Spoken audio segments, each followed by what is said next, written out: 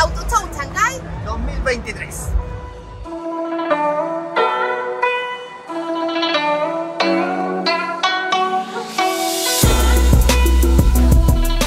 Durante el martes 18 y el jueves 27 de abril se desarrolló una nueva edición del Auto Show de Shanghái, uno de los salones automotrices más grandes a nivel mundial. Desde Chile Autos viajamos a China para ser testigos de los últimos avances tecnológicos de las marcas. Si bien intentamos recorrer la mayor cantidad de pabellones posibles, en dos días fue imposible verlo todo, porque eran muchísimos kilómetros de exhibición.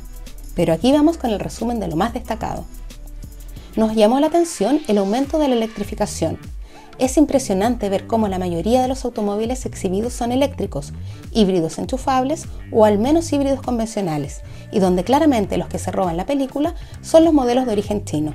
De la mano de la electrificación vimos el desarrollo de nuevas plataformas, al igual que de prototipos y modelos conceptuales con los cuales las marcas se preparan para enfrentar el futuro, en el cual aparece el manejo autónomo como protagonista y donde el piloto pasa a ser un simple espectador.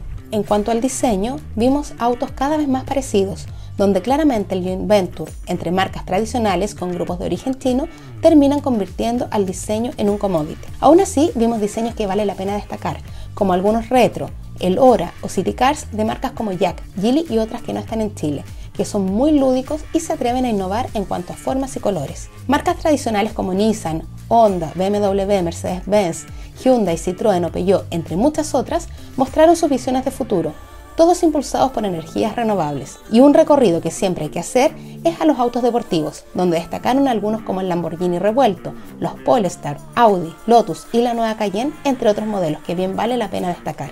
Y bueno, más de 200 marcas en este Auto Show de Shanghai. La verdad que es muy difícil hacer un recorrido, pero hemos tratado de mostrarles lo más representativo, los modelos que son que tal vez van a llegar a nuestro país, los prototipos, la electrificación, la verdad que mucho que ver, así que esperamos que este material les haya gustado, que lo preparamos con mucho cariño con Leo para ustedes.